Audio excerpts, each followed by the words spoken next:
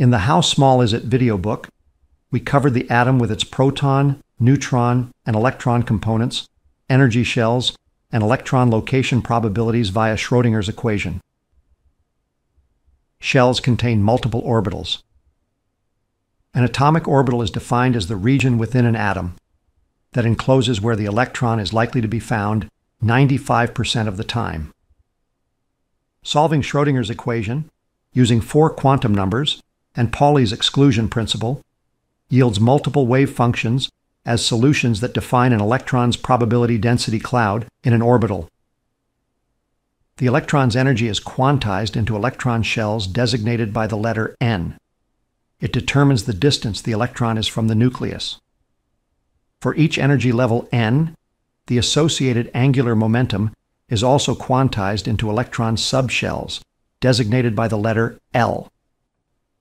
For each quantized angular momentum subshell, the allowed orientations are quantized into orbitals and designated by the letters m sub L.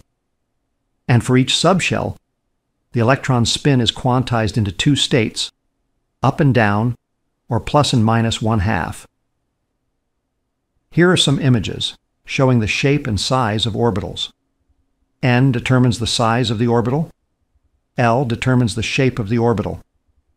M sub L determines the orientation of the orbital and spin limits the number of electrons in an orbital to just two.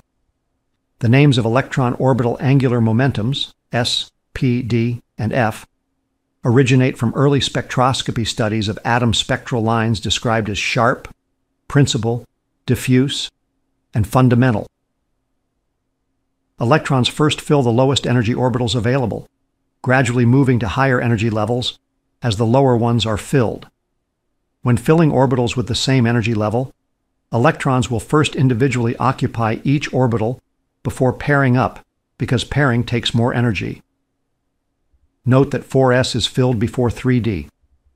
This is because electrons in a subshell tend to repel each other, more than electrons in different subshells. Here we have a subset of the periodic table that shows an electron distribution diagram for each element these diagrams highlight the number of shells an atom has, the number of electrons in each shell, and the pairing of these electrons. The outermost shell is called the valence shell, and the unpaired electrons in the valence shell are called the valence electrons. Here are four key examples. It is the shapes and sizes of their valence electrons, along with their binding energies, that give atoms their chemical properties. Note that the diagrams show the paired electrons as close together. In actuality, because all electrons have a negative charge, and like charges repel, electrons in a pair will be as far apart as possible in their orbital